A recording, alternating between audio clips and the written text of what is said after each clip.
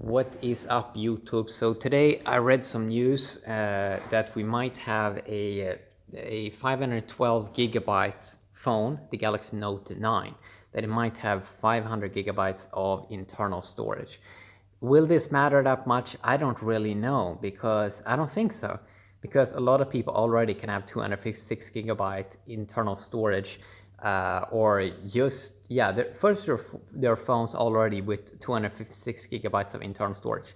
Then you have phones that support a 256 gigabyte micro SD card. So you can already have 500 gigs in many phones. But uh, the Galaxy Note 9 okay I have some I have some complaints. Okay first of all why are they spelling it like this? Why are they putting Note and 9 into the same name? I find that so annoying okay and I know I'm picky, but seriously, Samsung, can you just make the right name? The other thing is, it seems like the Galaxy Note 9 might be a little bit more rounded. So we take a look at this, this design here. This might be the real deal. So it looks like it has a little bit more of a rounded design.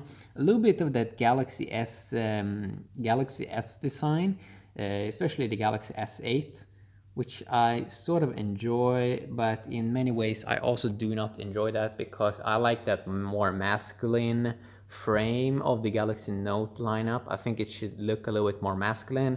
Uh, the Galaxy S8 looks a bit, bit more feminine uh, in its curves and it's kind of cool in a way but it, it, there is something to say about this business look with more straight lines.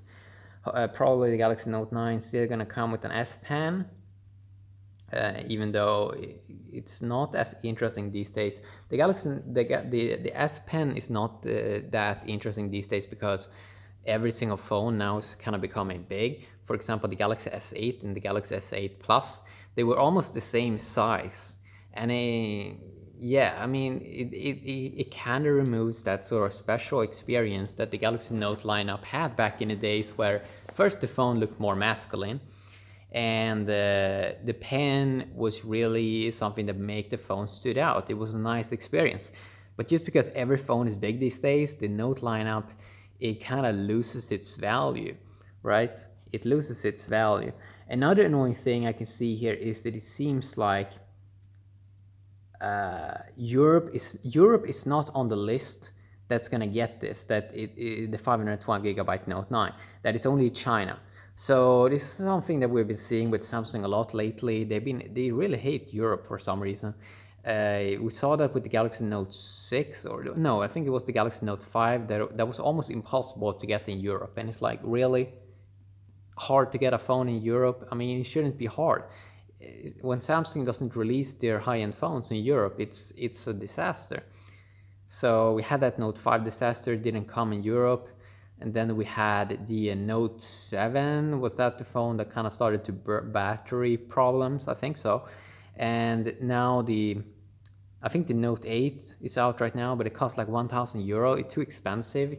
It's, it's just like the iPhone X. No people can get their hands on it because it's just pretentiously expensive. Okay, it doesn't make any sense anymore because it doesn't come with any magical features.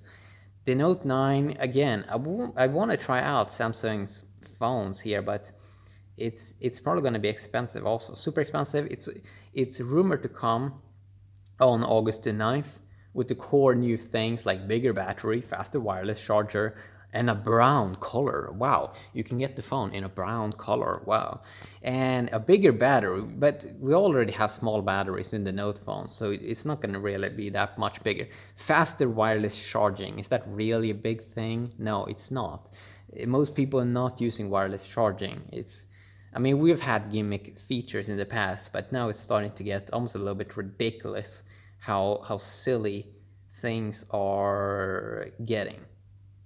And uh, for example, I th there's a concept here, right, from OnLeaks.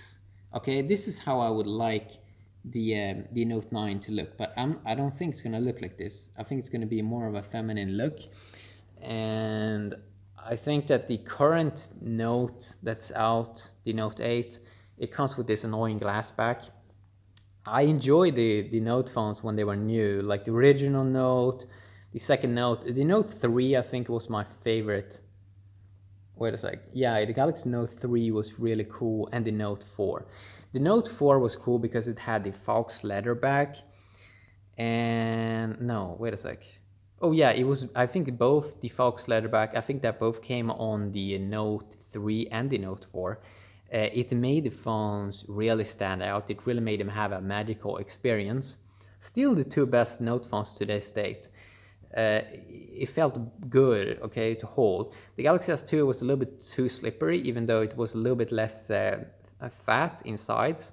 Uh, but uh, yeah, I mean, plastic or Faux leather is definitely the best material to use on the the, uh, the phones that are especially big, you know. So Note 9 512 gigabyte variant might come, but I don't really I don't really see that selling point. I don't I don't want 512 gigabytes. It's they really I think Samsung needs to work on bringing a special experience to the Note lineup again, but I'm not sure if they can do that. Yeah, have an awesome day, YouTube.